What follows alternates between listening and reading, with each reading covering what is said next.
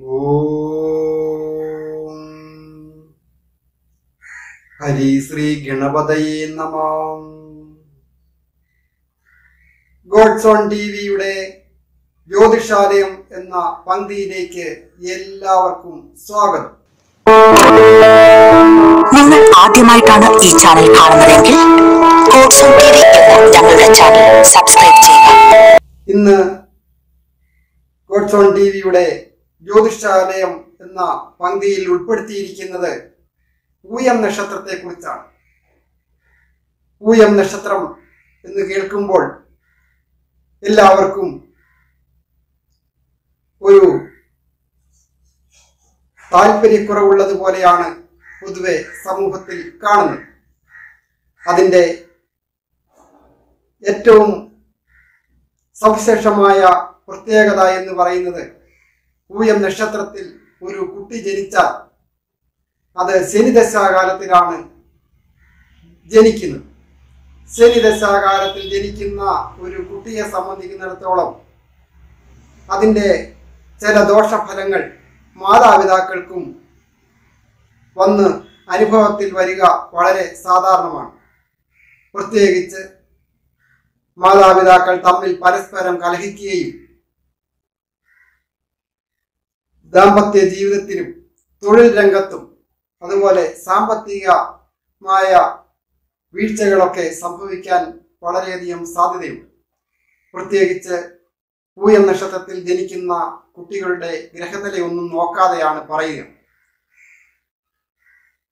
സമൂഹത്തിൽ ചില ജ്യോതിഷ നിയമങ്ങളും തത്വങ്ങളും പ്രചരിക്കുന്നുണ്ട്. യാതൊരു അടിസ്ഥാനവും ഇല്ലാതെയാണ് ഇങ്ങനെയുള്ള തത്വങ്ങൾ പ്രചരിക്കുന്നത്. പല വ്യക്തികൾക്കും മാനസികമായിട്ടും അല്ലാതെയും വളരെ നെഗറ്റിവിറ്റി ഉണ്ടാകത്തക്ക രീതിയിലാണ് ജ്യോതിഷ തത്വങ്ങളുടെ പോക്ക്. ഒരു തീരുമാനം എടുക്കുന്നതിൽ നാളേക്ക് ഒരു നല്ല കാര്യങ്ങൾ വന്നു ഭവിക്കുവാൻ വേണ്ട തരത്തിലുള്ള തീരുമാനങ്ങൾ എടുക്കുന്നതിനേക്കാൾ കൂടുതൽ തടസ്സങ്ങൾക്ക് പ്രാധാന്യം നൽകി ആണ് ജ്യോതിഷത്തെ പലരും സമീപിക്കുന്നത്. വരാനിരിക്കുന്ന ഒരു കാലത്ത് ഒരു തടസ്സമുണ്ടാകാം അല്ലെങ്കിൽ ക്ലേശമുണ്ടാകാം എന്ന് പറഞ്ഞ് പുതിയ സംരംഭങ്ങളിൽ നിന്നും ദാമ്പത്യ ജീവിതത്തിൽ നിന്നും ഒളിച്ചോടുക. ദൈനംദിനമായ ജ്യോതിഷ കാര്യങ്ങൾ കൈകാര്യം ചെയ്യുന്നതിൽ നിന്ന് എനിക്ക് മനസ്സിലാക്കാൻ സാധിച്ചിട്ടുണ്ട്.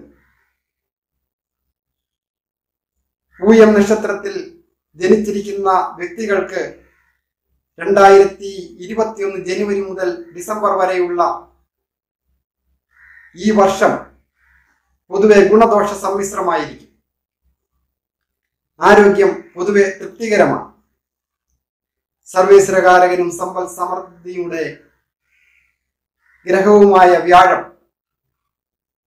സപ്തമത്തിൽ മകരം രാശിയിൽ നിൽക്കുന്നു. വ്യാഴം അനിഷ്ടസ്ഥാനത്ത് അല്ലെങ്കിൽ ദോഷസ്ഥാനത്താണെങ്കിൽ പോലും വ്യാഴത്തിന്റെ പൂർണദൃഷ്ടി കർക്കിടകക്കൂറിൽക്കാരായ ആ നക്ഷത്ര രാശിയിലേക്ക് ഉള്ളതിനാൽ ഭാഗ്യവും ദൈവാധീനവും തുണയ്ക്കും എന്നുള്ളതാണ് ഏറ്റവും പ്രധാനമായ കാര്യം.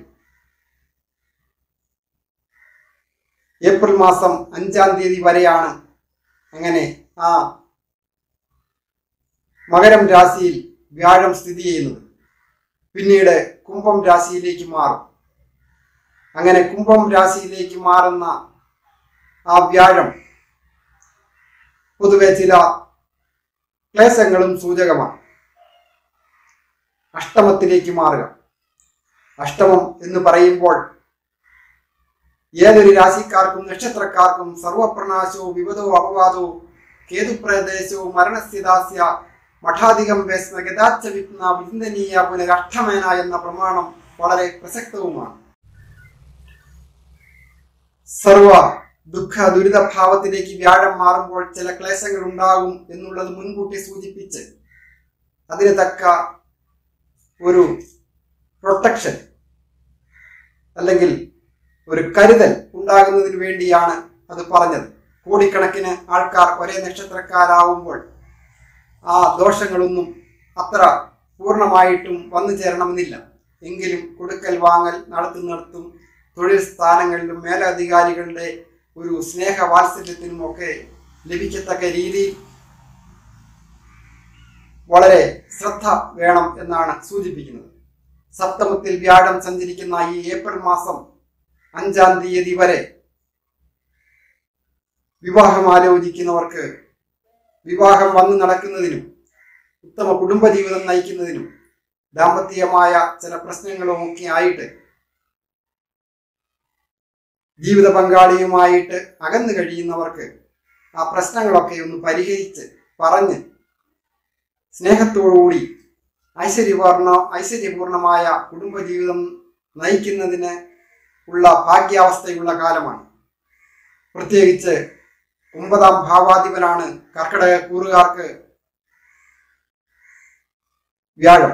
ആ വ്യാഴമാണ് ഭാഗ്യാധിപനാണ് ഇപ്പോൾ ബലവാനായിട്ട് സപ്തമത്തിൽ സ്ഥിതി ചെയ്യുന്നത്. ഭാവാധിപൻ കൂടിയായ ശനി അവിടെ സ്ഥിതി ചെയ്യുന്നുണ്ട്. അപ്പോൾ കണ്ടകശനി എന്ന് പറയും. കണ്ടകശനി രണ്ടര വർഷത്തേനാണ് ആ പൂയം നക്ഷത്രക്കാർക്ക് അനുഭവത്തിൽ വന്നു ചേരുക. ആയതിനാൽ കണ്ടകശനി കൂടുതലായ ദോഷങ്ങളൊന്നും വന്നു ഭവിക്കാതിരിക്കുവാനും വളരെയധികം ശ്രദ്ധ ആവശ്യമാണ്.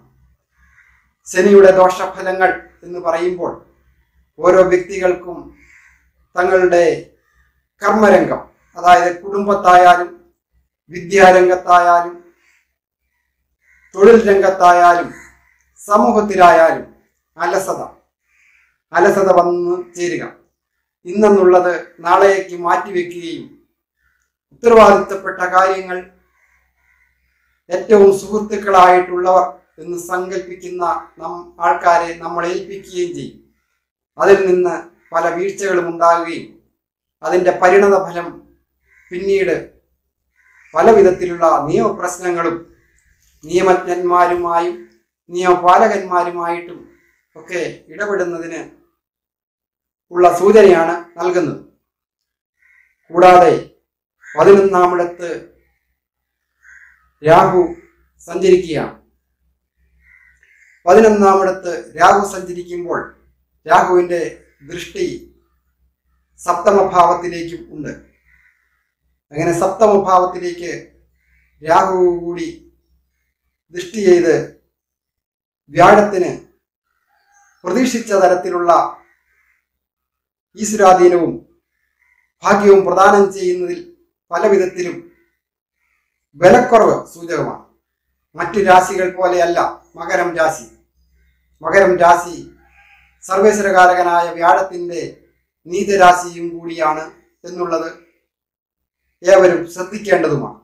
ദേവഗണത്തിൽപ്പെട്ട പൂയം നക്ഷത്രക്കാർ പൊതുവെ സൽബുദ്ധിയുള്ളവരും നേർവഴി ചിന്തിക്കുന്നവരും സുഹൃത്തുക്കളെ സഹായിക്കുന്നവരും കുടുംബത്തിന്റെ ഉത്തരവാദിത്തം ഏറ്റെടുക്കുന്നതിൽ ധൈര്യത്തോടുകൂടി പ്രവർത്തിക്കുകയും കുടുംബത്തെ അല്ലെങ്കിൽ ഒരു സ്ഥാപനത്തെ ഒക്കെ നയിക്കുന്നതിനും മാർഗനിർദ്ദേശങ്ങൾ നൽകുന്നതിനും പ്രാപ്തരായ നക്ഷത്രക്കാരാണ്. ഇങ്ങനെയുള്ള നക്ഷത്രക്കാർ ഒരു പരിധിവരെ തങ്ങളുടെ പ്രവർത്തന രംഗത്ത് ഈ കാലഘട്ടത്ത് വിജയിച്ചു നിൽക്കുവാൻ പ്രാപ്തരുമാണ്.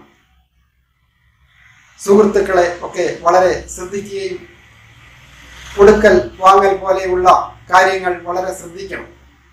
തൊഴിൽ രംഗത്തും അതുപോലെ തന്നെ സാഗരങ്ങൾ കടന്നു പോകുന്നതിനുള്ള ഒരു അവസരം ഈ സമയത്ത് ഉണ്ടാകേണ്ടതാണ്. കാലോചിതമായിട്ട് ചില തടസ്സങ്ങളൊക്കെ വന്നു ചേരുക സ്വാഭാവികമാണല്ലോ. എങ്കിലും വന്നു ചേരുന്ന ധനം വേണ്ട രീതിയിൽ വിനിയോഗിക്കുവാൻ വിജയിക്കുന്ന പൂയ നക്ഷത്രക്കാർ മറ്റുള്ളവർക്ക് അധിക ഭാരം ഉണ്ടാകുകയോ ഒരു ബാധ്യതയാകുകയോ ചെയ്യാറില്ല. പ്രത്യേകിച്ച് സുഹൃത്തുക്കളാകുന്നവർക്ക്. ഏത് രീതിയിലായാലും ഒരു പുതിയ തൊഴിൽ ചെയ്യണമെന്ന് ആഗ്രഹിക്കുന്നവർക്ക് അതിന് മുൻപോട്ടിറങ്ങി പ്രവർത്തിക്കുകയും അതിനു വേണ്ട കാര്യങ്ങളൊക്കെ ചെയ്ത് അവർക്ക് വിജയത്തിൽ എത്തിച്ചേരുവാൻ സാധിക്കുന്ന ഒരു വർഷമാണ് രണ്ടായിരത്തി ഇരുപത്തി ഒന്ന് എന്നുകൂടി ഓർപ്പിച്ചുകൊണ്ട് ഈ സന്ദേശം ഇവിടെ പൂർണമാവുകയാണ്. എല്ലാവർക്കും നന്ദി നമസ്കാരം.